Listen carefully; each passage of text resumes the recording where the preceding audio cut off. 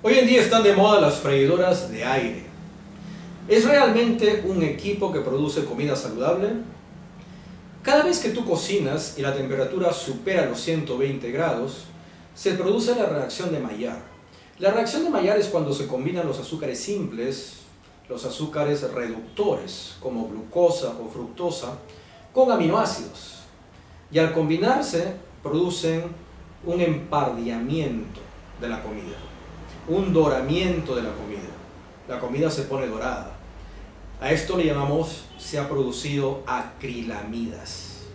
Entonces, cuando tú pones papas en una freidora de aire, las papas se ponen doradas, porque el aire llega a los 120 grados, se produce la reacción de Maillard, se combinan los azúcares reductores con los aminoácidos y la papa se pone dorada.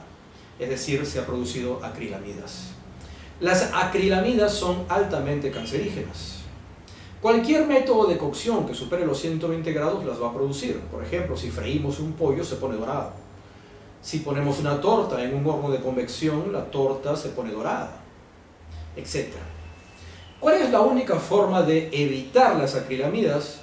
Pues cocinar con agua, ya que el agua no llega nunca a los 120 grados, el agua hierve a los 100 grados.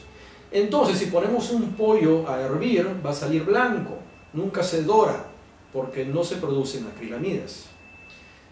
Si cocinamos al vapor, igualmente, el vapor está a 100 grados y por lo tanto no se producen acrilamidas.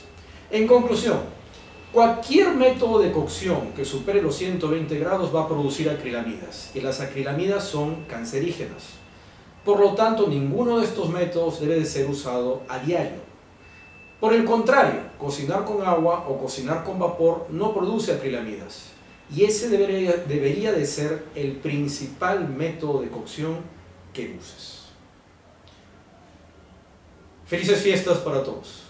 Saludos.